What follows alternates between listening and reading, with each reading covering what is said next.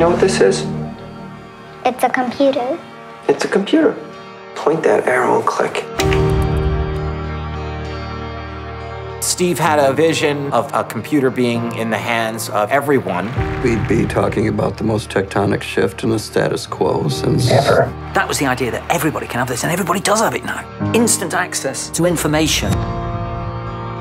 His effect and the way we live our lives. It's like Henry Ford multiplied by, you know, a thousand. Two most significant events of the 20th century. The Allies win the war, and this. He lived at the intersection of art and technology, computing, movies, He reinvented the music business.